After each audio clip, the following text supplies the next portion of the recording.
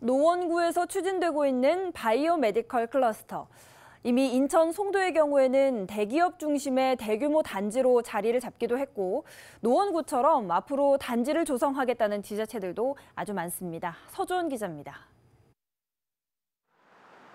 서울시와 노원구가 창동 차량기지와 도봉운전 면허시험장 부지에 추진하고 있는 노원 바이오메디컬 클러스터.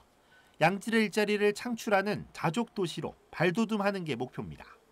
여기에는 병원과 기업, 연구소를 유기적으로 연계해야 하는 조건이 있습니다. 노원의 경우는 서울대학교 병원 유치가 핵심으로 논의됐지만 당장은 불투명합니다. 면허 시험장이 이전에 약간 좀 음, 흐릿해지면서 조금 변수가 발생했습니다. 서울대 병원 측도 뭔가 조금 음, 이게 불투명하니까 약간 좀 이제 투자 문제나 이런 걸 조금 조건을 좀 걸고 있어서 노원과 같은 꿈을 꾸고 있는 도시는 생각보다 많습니다. 먼저 노원구 인근의 의정부시, 미군 반화 공여지인 캠프 카일 부지에 바이오 클러스터 조성을 추진 중입니다.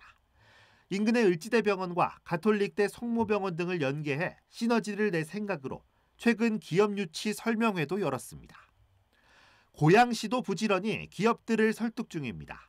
일산 테크노밸리에 오는 2026년까지 바이오 정밀 의료 클러스터를 조성할 방침입니다.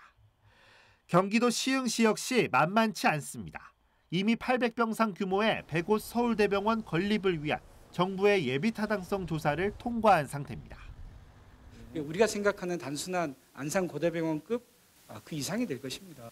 서울대의 우수한 바이오 관련된 연구 인력들이 우리 시흥으로 오겠다라는 약속이기도 합니다. 그렇기 때문에 지금은 그분들과 잘 협력해서 더 많은 시설들이 우리 시흥 캠퍼스에 자리 잡을 수 있도록 해야 되고요. 바이오 클러스터를 통해 도약을 꿈꾸는 지자체들. 현재 수도권에서는 이 꿈을 실현하고 있는 지역이 있습니다. 바로 인천 송도입니다. 일찌감치 둥지를 튼 셀트리온부터 새를 확장하고 있는 삼성 바이오로직스. 올해 6월 본사와 연구소 착공에 들어간 SK 바이오 사이언스까지 송도에는 국내 바이오 대기업들이 총 집합해 있습니다. 지난 2021년 기준 인천시의 바이오 산업 생산액은 3조 9,724억 원에 달할 정도입니다. 제가 하는 분야가 인천의 미래의 발전에 도움이 될 수 있다고 해서 저도 무척 기쁘게 생각합니다. 사업장이 있는 데가 본사해야 된다고 생각합니다.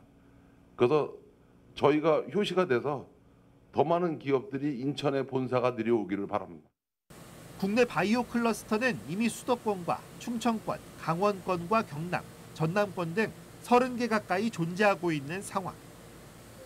전국의 바이오 클러스터는 앞으로 더 늘어날 가능성이 높습니다. 일부에서는 이제 각 지역별로 특화된 분야를 개발하거나 기능적 측면에서의 차별화 등을 고민해봐야 할 필요가 있다는 지적도 나옵니다.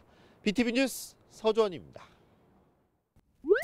BTV 뉴스를 더 많이 보고 싶으시다면 여기 구독 버튼을 눌러주세요. 추천 영상도 누르면 바로 재생됩니다. 또 다양한 서울 소식을 보고 싶으시다면 휴대폰에서 가지 앱을 다운로드 해보세요. 저희 BTV 뉴스를 시청해주셔서 감사합니다.